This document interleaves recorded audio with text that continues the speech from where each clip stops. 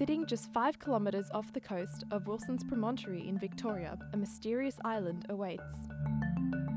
Surrounded by azure blue waters and guarded by thousands of fur seals, humpback whales, and bottlenose dolphins, Skull Rock has now been opened to tourists on board a world first amphibious tour boat.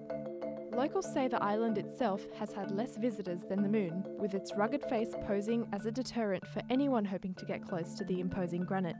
But now, visitors will be able to get closer than ever before to the majestic island covered in rock like skulls.